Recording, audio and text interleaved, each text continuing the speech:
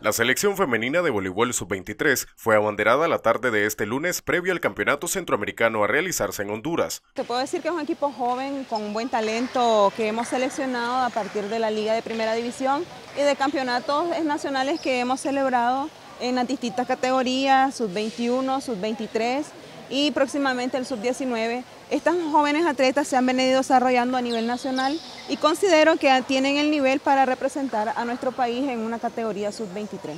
Con mucho entusiasmo se mostraron las 13 jovencitas que representarán al país con el objetivo de posicionarse en el medallero con la distinción dorada. Eh, hemos estado teniendo partidos de fogueos con la selección mayor eh, esto nos ha ayudado a acoplarnos como equipo, a ver qué, en qué aspectos podemos mejorar y también entre nosotras tratar de apoyar a las muchachas pues, que son nuevas, que tenemos nosotras un poco más de experiencia para que se sientan en confianza y acogida.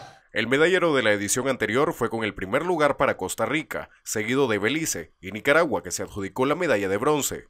Las acciones se estarán desarrollando del 28 de julio al 3 de agosto en el gimnasio Jorge Galeano en Tegucigalpa. Con información de Francela Álvarez y cámara de Kevin Bosa, este es un reporte para el Comité Olímpico Nicaragüense.